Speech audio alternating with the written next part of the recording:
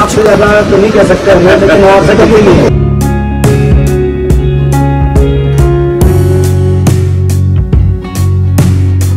It took her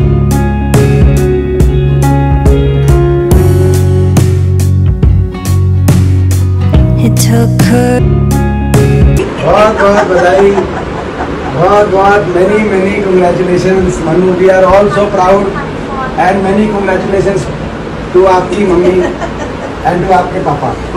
mummy मम्मी की congratulations. क्योंकि इन दोनों के आशीर्वाद के बिना तो संभव नहीं है लेकिन आपने कमाल कर दिया मनु। आपने हमारा इतना नाम रोशन कर दिया हमें इतना प्राउड कर दिया आपने। आप सोच भी नहीं सकते। आपको उतनी खुशी नहीं है आज। कई साल के बाद आपको पता चलेगा कि हमें कितनी खुशी हुई है। धन्यवाद सर। बहुत बहुत। अभी तो अभी तो जब आप आप वापस आओगे तो हम पूरा अपना ठीक है मना। हैं? ठीक है बहुत बहुत बधाई। We are proud of you we are proud of you आपने ऐसा कर दिया कमाल। बस। भगवान अखिल और खुश आप रखे अखिल और आप बात करो तब तक ठीक है?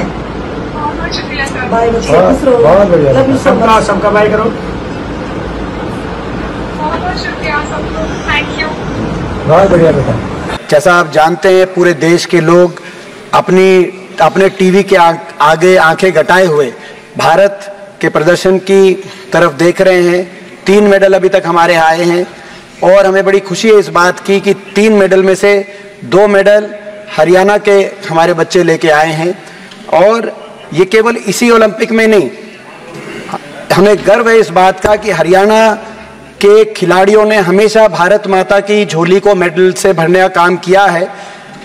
21वीं सदी में अभी तक ओलंपिक खेलों में 20 इंडिविजुअल मेडल आए हैं, जिसमें से 12 हरियाणा के खिलाड़ियों ने अर्जित किए हैं, यानी कि 50 प्रतिशत से ज़्यादा। ओलंपिक, एशियाई और कॉमनवेल्थ खेलों में 40 से 50 प्रतिशत तक मेडल हरियाणा खिलाड़ी लेके आ रहे हैं, और प्रतिभागियों की अगर हम संख्या देखें, यानी कंटिजेंट का हिस्सा तो लगभग एक चौथाई हरियाणा के खिलाड़ी भारत के किसी भी कंटिजेंट चाहे इस बार इस वर्ष के ओलंपिक के खेलों की बात रही हो। लेकिन हमें उम्मीद थी कि प्रोत्साहन मिलेगा और पुरस्कार मिलेगा लेकिन खेलो इंडिया का जो ब्यौरा दिया गया इस आ, सदन में परसों मंत्री जी द्वारा उसमें ये पाया गया कि दो 2200 करोड़ कुल व्यय में हरियाणा के बाटे केवल पैंसठ करोड़ रुपए यानी कि तीन प्रतिशत से कम की राशि हरियाणा को दी गई।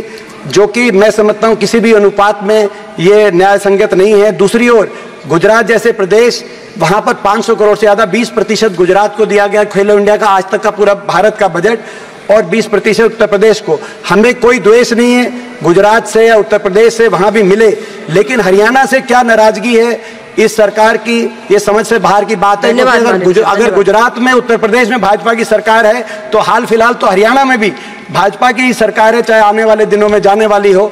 मेरा यही सरकार से ये आग्रह है कि हरियाणा के साथ न्याय हो न्याय संगत तरीके से हरियाणा को हरियाणा भी हरियाणा खिलाड़ी जब मेडल अर्जित करते हैं तो देश का झंडा ऊँचा जाता है तिरंगा झंडा ऊँचा जाता है। तो हरियाणा जब इतना भारत माता की झोली में भर रहा है तो हरियाणा के साथ भी न्याय मिले और हमें बजट मिले। बजट की तरह खेल बजट में भी हरियाणा को आप भूल गए